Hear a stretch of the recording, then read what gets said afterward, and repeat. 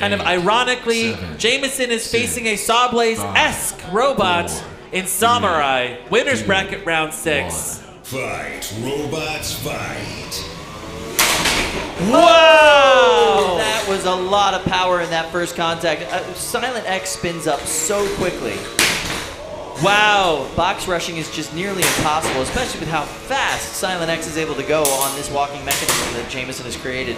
Silent X would love to peel up that uh, that front wedge of Sawmurai, break it so he can get underneath and start chewing away at those wheels. And he's done it. One of the wheels is gone on Sawmurai.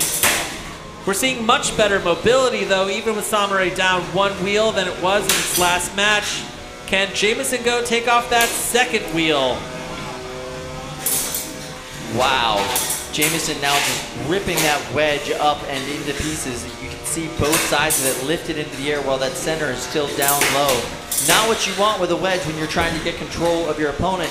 It's going to be very hard. And there's the tap out. Wow, fast tap out from Sawmurai. Wow, the audience here is very, uh, very excited about that match. That was just a masterclass in why you should not fight Silent X. Now, if you're in the audience and you missed yesterday,